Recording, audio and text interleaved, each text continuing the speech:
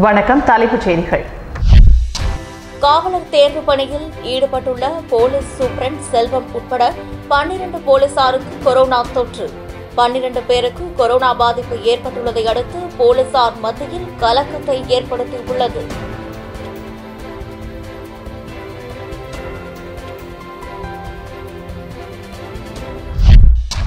புதுவை சட்டசபை செயலகம் மற்றும் அதனை சார்ந்த அலுவலகங்களில் சபாநாயகர் செல்வம் திடீர் ஆய்வு மேற்கொண்டார். அப்போது ஊழியர்களின் வருகை மற்றும் செயல்பாடுகள் குறித்து அதிகாரிகளிடம் கேட்டறிந்தார். புதுச்சேரி சட்டப்பேரவை அருகே உள்ள பாவேந்தர் பாரதிதாசன் திருவுருவ சிலையில் அவர் அணிந்திருந்த மூக்கு கண்ணாடி சரிந்து பத்து நாட்களாகியும் இதுவரை சரி செய்யப்படாமல் குடியரசு தின விழாவை முன்னிட்டு வண்ண விளக்குகளால் அலங்கரிக்கப்பட்டிருப்பதற்கு தமிழ் ஆர்வலர்கள் மற்றும் புதுவை மக்களிடையே கண்டன குரல் எழுந்துள்ளது.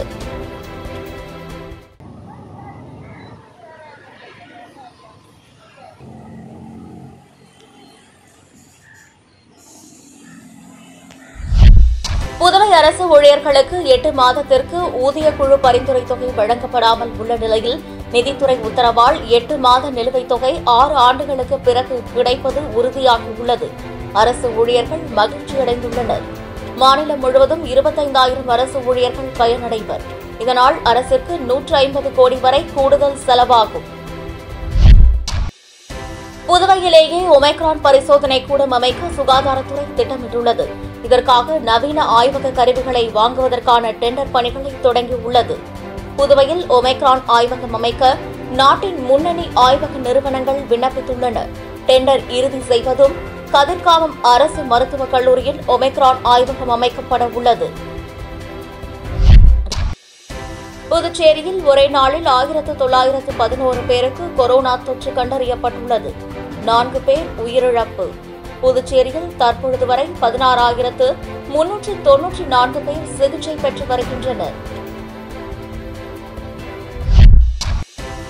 சிவப்பு ரேஷன் கார்டுதாரர்கள் டிசம்பர் ஜனவரி ஆகிய இரண்டு மாதங்களுக்கான இலவச அரிசியை இன்று முதல் பெற்றுக் கொள்ளலாம் என குடிமைப்பொருள் வழங்கல் துறை தெரிவித்துள்ளது.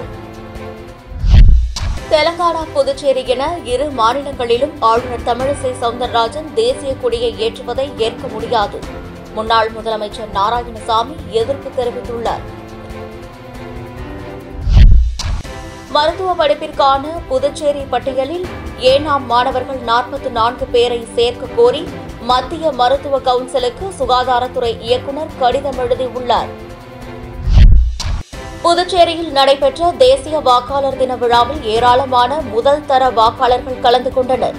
வரும் தேர்தலில் பணம் வாங்காமல் நேர்மையான நபருக்கு மக்களுக்கு சேவை செய்யும் நபருக்கு தனது வாக்கை அளிப்போம் என முதல் தர வாக்காளர்கள் தெரிவித்தனர்.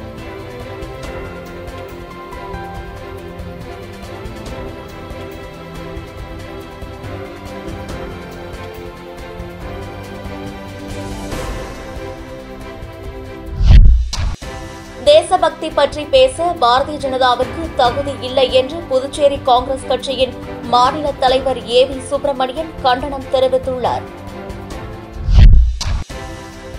ஒய்யப்பன் இயற்கை மருத்துவம் மற்றும் யோகா மருத்துவமனையின் இரண்டாம் ஆண்டு துவக்க விழா மற்றும் இலவச மருத்துவ முகாம் இன்று நடைபெற்றது. மருத்துவமனையின் கிளை நிர்வாகி சௌந்தர்யா குணசேகரன் தலைமையில் நடைபெற்ற முகாமில் சட்டமன்ற உறுப்பினர் ஜான்குமார் சிறப்பு அழைப்பாளராக கலந்து கொண்டு மருத்துவ முகாமை துவங்கி வைத்தார்.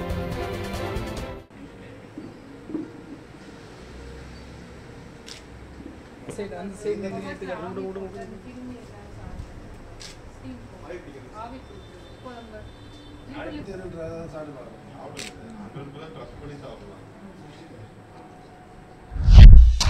வில்லியனூர் தொகுதியில் பத்து லட்சம் ரூபாய் செலவில் வாய்க்கால்கள் தூர்வாரும் பணியை அமைச்சர் சால்ஜி சரவணகுமார் எதிர்க்கட்சித் தலைவர் சிவா ஆகியோர் துவங்கி வைத்தனர்.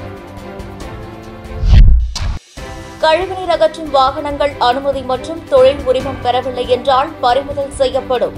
உழவர்கரை நகராட்சி எச்சரிக்கை விடுத்துள்ளது. இத்துடன் இந்த செய்தி அறிக்கை நிறைவடைகின்றன. வணக்கம்.